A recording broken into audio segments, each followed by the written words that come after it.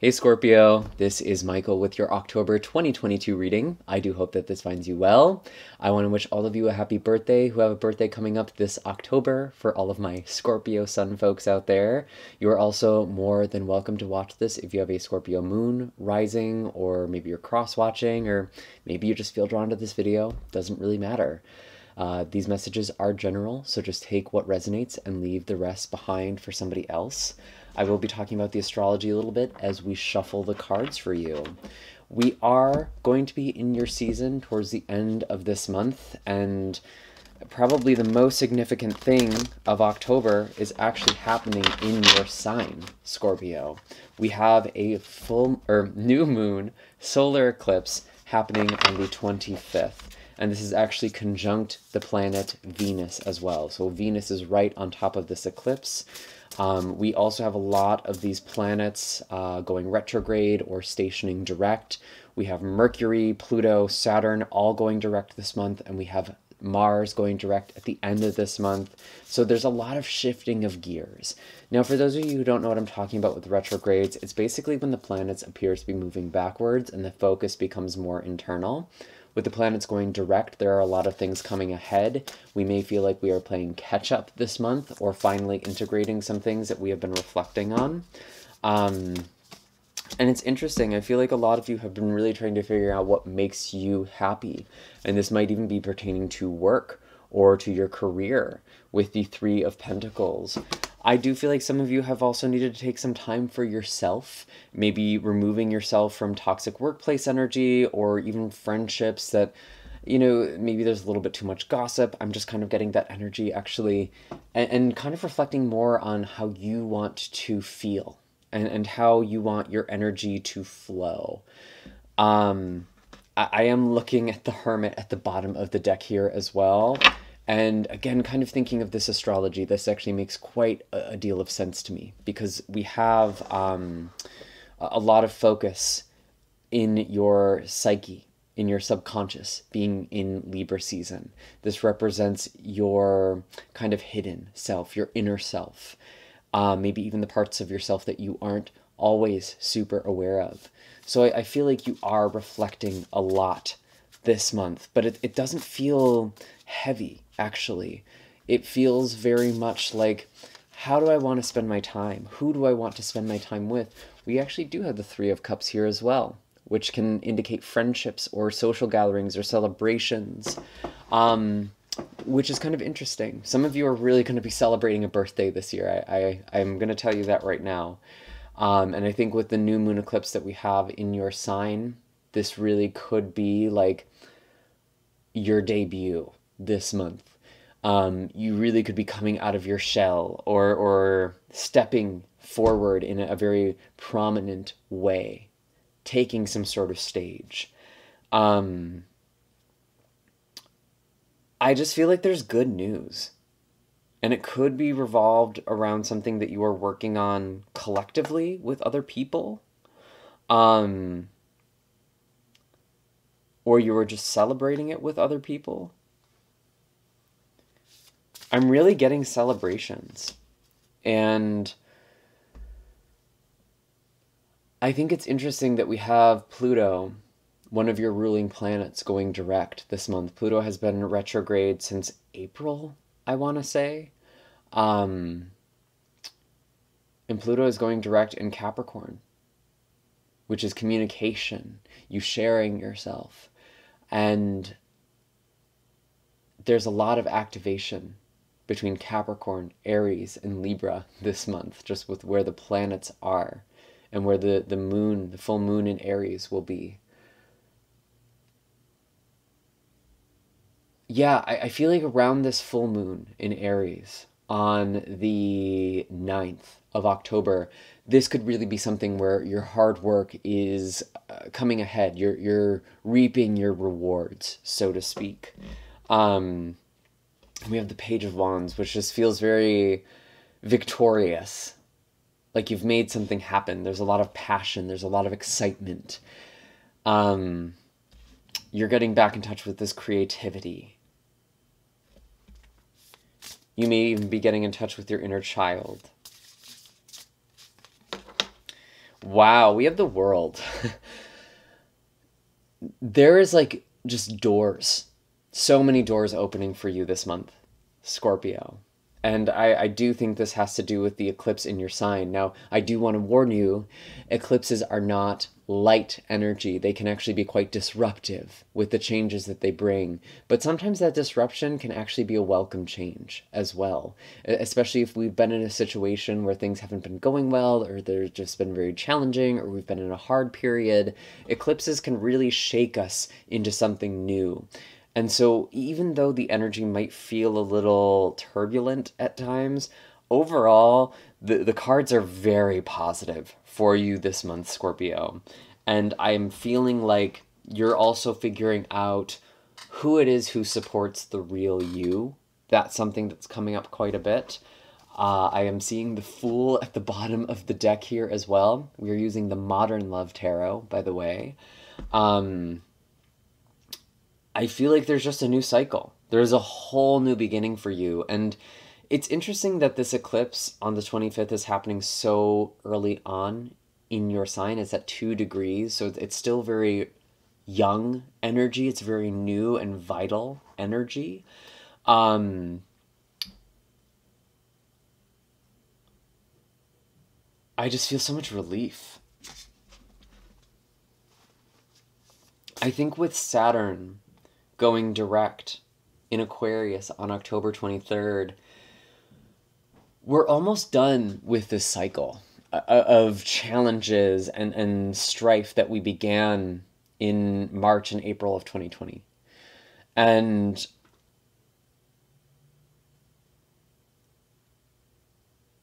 for you specifically, Scorpio, this is talking about your roots, who you are deep down where you belong.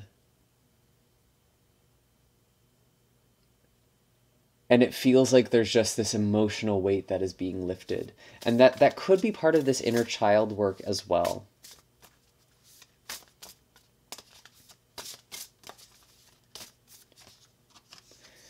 We have a Two of Cups here. Very interesting. Um, some of you could be connecting with a romantic partner or interest. Um, that almost feels like kind of a trajectory you're on.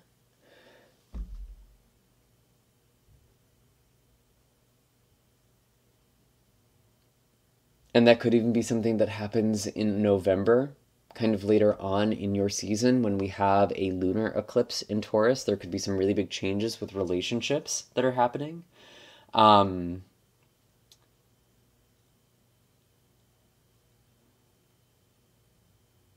it just feels very. Oh, you know what this is? Jupiter is entering back into Pisces. And this could be really bringing a lot of fun and joy back into your life. This could also be you putting yourself out there and maybe meeting new people. And there could even be a relationship that develops if you are single um, or if you are in a relationship, you could almost be getting back to the sweet spark between you and someone else, especially if something's been really complicated or there's just been a lot of focus on work and getting jobs done. Um, it's like you're just enjoying the relationship. You're coming back into that. There's this new level, this new world you are going into. There's just so many doors that are opening up for you. And it feels like it's been a long thing coming for you, Scorpio. I feel like the readings I've done for you have really been kind of heavy for a while. Um, and it feels like there's just something that is so profoundly shifting. And I think with Aquarius going into Pisces, or I'm sorry, with Saturn going into Pisces, leaving Aquarius, there are new commitments, there's new things that are forming for you in your love life and also creativity and just more fun. You're taking your enjoyment and pleasure more seriously. That's something that's going to be happening in 2023 because it's like you have realized the worth of just doing things for the sake of how they make you feel, how they make you feel good.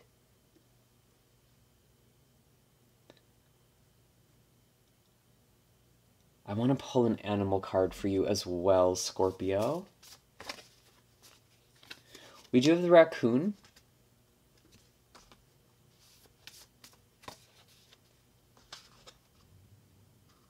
We have raccoon and tarantula. Interesting energy. I know when raccoon shows up, there's almost this creative or professional identity crisis that can come up with this card. And now, kind of going a little bit deeper, I wonder how you're really feeling about this celebration, about this advancement that you may be experiencing this month. Because some of you may be feeling like you need to try new things. It's like, okay, I've achieved this, I have this under my belt, I've achieved all of these things. What do I do now? And there are these, there's just a world of possibilities for you creative potentials, ideas, new projects that you could be doing. I'm really feeling like there's something about writing that is coming up for this group too with Raccoon and Tarantula because Raccoon, Uh, kind of working with the hands, I often think of writing or creating with the hands if it's, if, if it's another medium here. We do also have Tarantula, which is kind of about shedding an old skin. And some of you have been successful with something but it's almost like instead of being like, okay, I'm going to see where this goes, it's like, now what? What do I do now? And it's like you're shedding something with this eclipse in your sign at the end of this month where it's not even like you have a mask I know we have the raccoon and there is kind of that mask energy, but that's not how I'm reading or feeling this energy. It's like there was something that was once very authentic to who you are that no longer feels that way.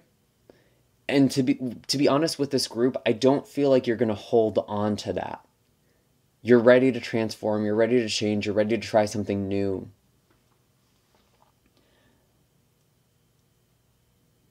and there's just a lot of possibilities there's a lot of doors here and even looking at the eight legs of the tarantula i feel like there are a lot of things a lot of different ways to move forward and this is also an ambush predator as well tarantula is about going after what you want even if you have to be a little with a raccoon maybe a little sneaky about something that's interesting that's interesting um yeah, if you are thinking about changing a job or, or changing things up, maybe keep it to yourself actually right now. You know? You don't have to tell everyone what you're working on or, or the direction you're going in. There might be some deterrent that there was something about telling or, or working with the right people that came up earlier. Um, really trust your intuition on that.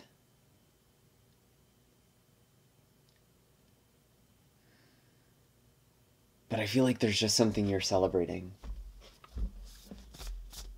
And it feels like it's it's opening doors for you. And we have the hummingbird going after this sweetness, just a very high vibrational energy.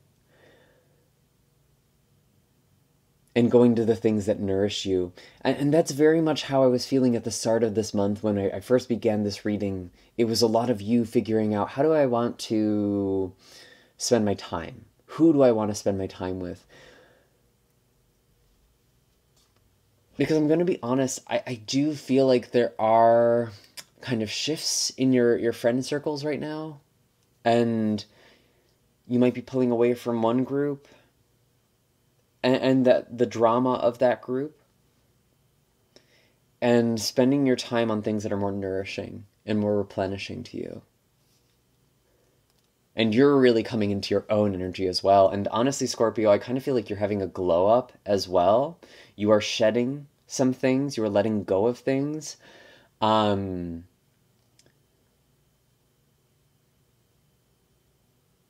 and you just have this light to you. You're getting back in touch with this light, and it's more of a feeling than anything else. A lot of the time, when people talk about gloves, we, we see like the before and after photos, we make it very physical, but the truth is, it, it's so much more than a physical transformation. Although some of you, I, I, actually do feel like you are quite literally physically transforming by the end of this month. Um,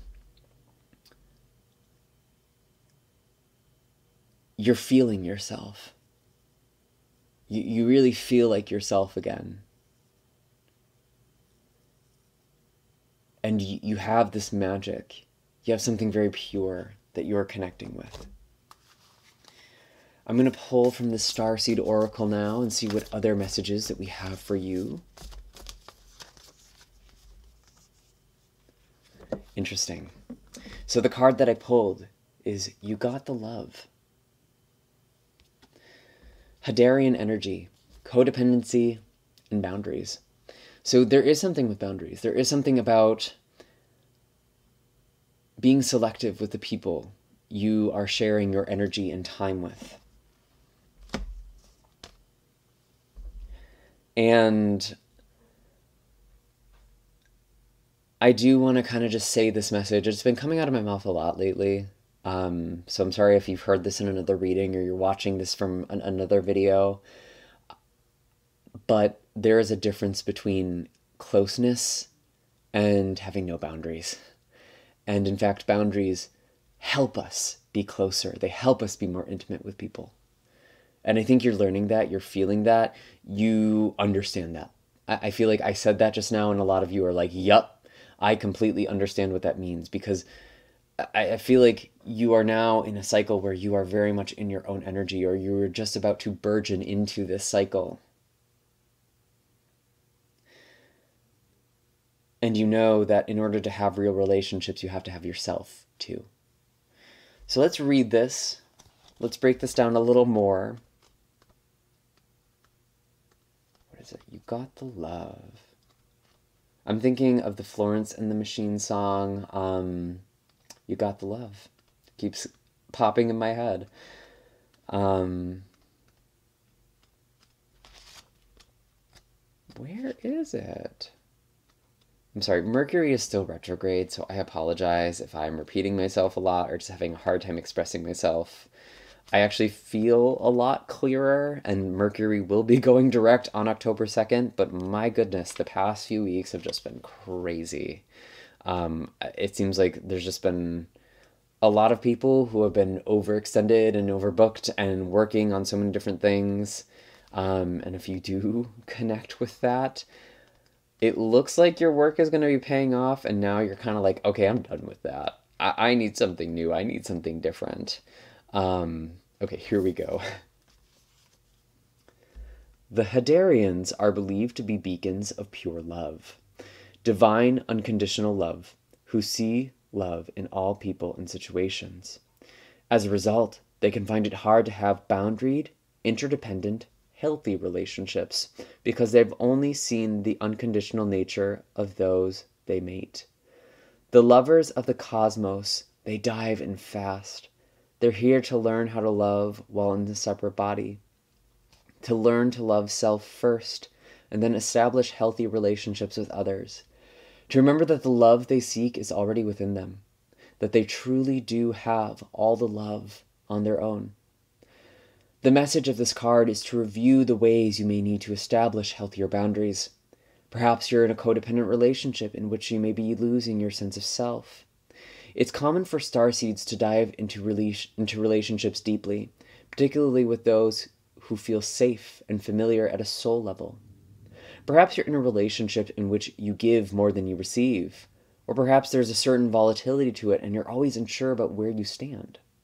This card is assigned to do a relationship review and see what energetic agreements you've made, consciously or unconsciously, to acknowledge if there are relationships in which you feel anxious or powerless, in which you don't feel like it's safe to relax or just be yourself to assess if there are any places of inadequacy that you've used a relationship to soothe and cover up. Do you lose yourself in relationships? If so, how? How can you develop a deeper love for yourself? And this feels really important to me because, again, we're talking about relationships, kind of feels a little bit more like next month's reading, to be honest. Um, th- that could be more of a focus during that time where we have a lot coming up about new relationships or deepening relationships and honestly with with Uranus in Taurus and the North Node in Taurus, a lot of the planets that are going to be moving through Scorpio, your sign, later this month and into November are are going to be forming this kind of opposition, which creates room for growth and healing. So these are themes I think that will be coming in more later. That would be my guess. Um, but overall, I feel like you already have begun this path of having healthy and boundaried relationships. And it's not even necessarily like you are just cutting people out of your life. Maybe you will have to do that, but it feels more like you're holding your own. And you're not just using distance or the silent treatment or withdrawing instead of just communicating and having boundaries. And we talked about communication because there's a lot of activation in your third house of communication in the sign of Scor- or in the sign of Capricorn with Pluto going direct. So really communicate this month. Really state your boundaries and figure out what those are. Um, and and I feel like there's also something that is shifting, and and part of this shift is you are seeing yourself in a new way, and who you present to other people or how you present to other people may no longer be an accurate represent, representation of how you feel about yourself. And so it's really important to be true to yourself this month as well, especially with this big, big eclipse that we have in your sign. But it, it, again, all of this feels really, really positive. Um, and those are all the messages I have for you this month, Scorpio. I do hope that this was helpful. Be sure to hit like and subscribe. I do appreciate that. You're more than welcome to check out the videos for your moon or rising sign if you haven't done that already. All of my links are in the description box down below if you're looking for distance Reiki sessions or personal readings. Um, I do have 15 minute readings again, so if you need a quick answer or some quick advice, that's a great way to kind of start out. Um, and I will see you all in the next video. Take care, Scorpio, and have a happy and safe October.